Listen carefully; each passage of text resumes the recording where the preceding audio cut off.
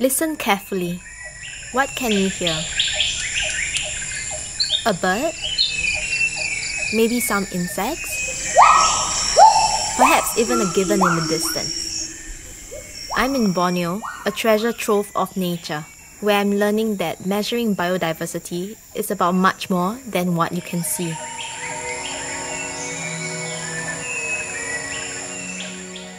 Currently, um, measuring and disclosing data around biodiversity is still something that is very difficult. Biodiversity is simply the variety of all the life we have on Earth. So, for any particular area, it is what is all the creatures that live animals, plants, insects, funguses. Solving the biodiversity challenge will be the largest investment megatrend in our lifetime. The data we have available to us now around biodiversity is, is insufficient to be able to estimate the risks we're taking within our portfolios. You know, you can't fix climate without fixing biodiversity because that's a big part of your solutions to sequestering carbon dioxide.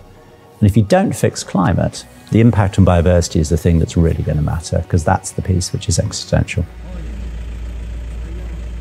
Biodiversity is increasingly an important um, topic of discussion for the companies I cover, especially when it comes to palm oil plantations.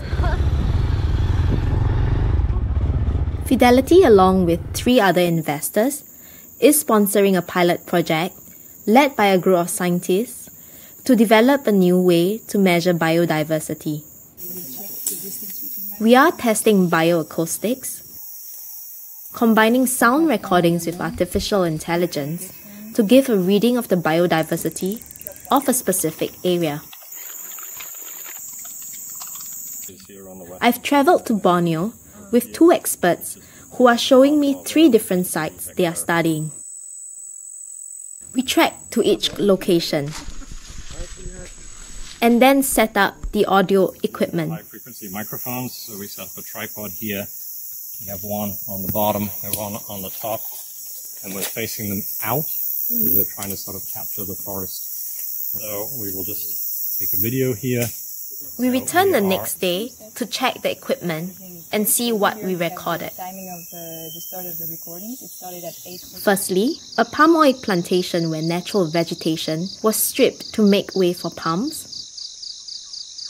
A control plot of natural rainforest near the plantation.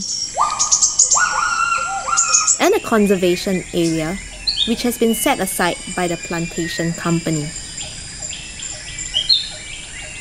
Mm. It's fascinating to see how the researchers gather the data on the ground.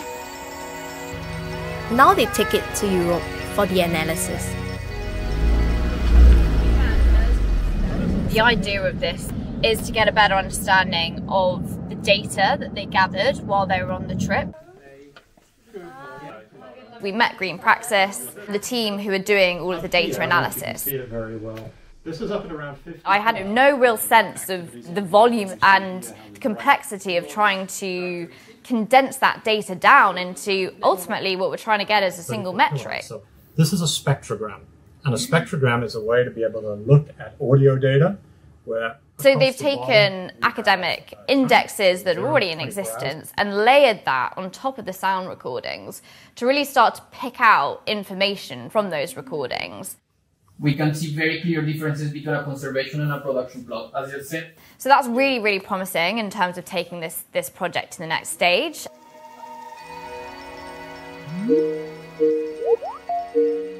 Hi, Minlin. Hey, hi, Charlotte. How are you? Yeah, I'm very well, thanks. Um, it's great to see the the results.